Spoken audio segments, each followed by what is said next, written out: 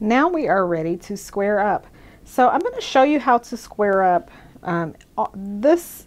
The way that I'm going to square this up is the same way we would square up just about every single one of the um, half rectangle triangles that can be made with the HuRTy one, with the exception of the 6 by 12. And I'm going to show you how to square that one up separately. Um, there's also a little trick for cutting out the 6 by 12. So I'm going to show you that um, just after I finish um, showing you how to square this one up. So this applies to all of the sizes of the HRT with the exception of the 6 by 12 which is the biggest you can do with the HuRTy one. Okay, so we're going to take that um, sewn and pressed HRT unit before it's squared up and we're going to start with A. Now, this is where um, one of those things you have to remember. When we are squaring up the half rectangle triangle, we're now, instead of looking at A start, B start, that's for cutting, we're looking at side A and side B. So if you can read side A, it's on the right side. You'll also see that the diagonals are in the same orientation as the diagonal of the block that you, or the unit that you're, that you're squaring up. I often will turn it this way towards me or rotate it um, so that it's in a comfortable space so you can cut. If I were left-handed, I probably would start cutting it in this orientation. But as a right-handed quilter, I will rotate it this way so I can cut here and across. We all know about rotary cutter safety, right? So long as we're not cutting towards body parts, that means ours or anybody else's, then it's generally good rotary cutter safety. Okay, so now what I'm doing right now for lining up, I know this is a 4 by 8 inch unit, which means it gives us about a quarter inch all the way around the half rectangle triangle to square it up. We weren't super careful about sewing these, so it's not perfectly lined up at the ends and everything. So what we want to do is we want to line up this corner on the fabric.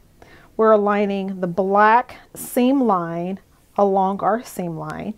Then we want to look at the other corner of the half rectangle triangle that we are um, trimming down to, and that's the 4 by 8 So we want to make sure that 4 by 8 corner is also on the opposite edge of the fabric. So you may have to slide that ruler along that seam line just to make sure that we have room to trim on this side and room to trim on that side a little bit of pressure just to hold it in place. And I'm trimming the first two sides here. Remember, this is where we get our precision. So if we're precise in this step, then when we sew these HRTs together, then our points are going to connect in our corners. Then we're going to rotate that. And a rotating cutting mat is not a bad idea with this, but I often do it on my standard mat as well. So now I'm aligning that seam line up, aligning the corner we just cut with that 4 by 8 corner. You see that little corner mark here. Just like that, making sure that seam line is lined up nice and perfectly along the seam line of the, of the unit. Then we're going to cut across the top and the side. Look at it.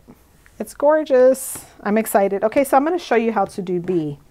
It's essentially the same thing, just in reverse. So this is our B unit before it's trimmed down. And we're going to flip it to side B of the HuRTy.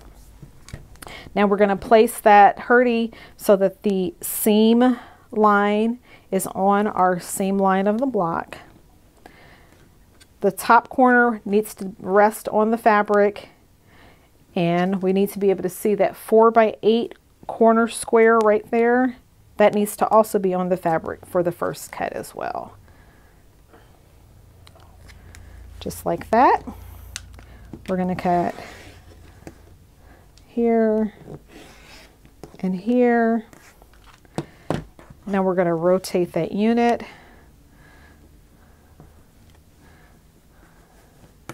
Align the corner that we, the two edges that we just trimmed Make sure that corner is aligned with that 4 by 8 corner mark on the ruler. And double check that that seam line is lined perfectly with the seam.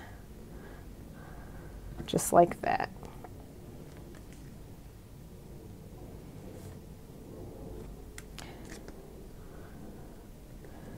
Perfect.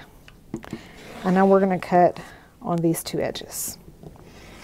Now, we know from making half square triangles that this is the most tedious part, but this is where you get that beautiful precision that is just difficult to get elsewhere. And um, so we take the time to do it. You cannot stack. You have to do these one at a time. But it's so worth it to get those beautiful half rectangle triangles that when you sew them together, they just really, really fit nicely together. And that is how to use the HuRTy one.